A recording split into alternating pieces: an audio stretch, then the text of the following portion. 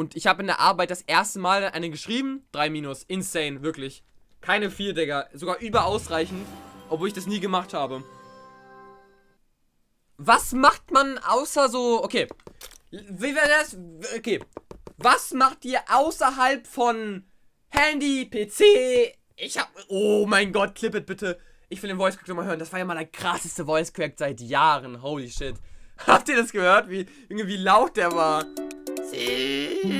Aber meine Stimme ist momentan echt ein bisschen am Arsch, ne? Aber was macht man? Gar nichts?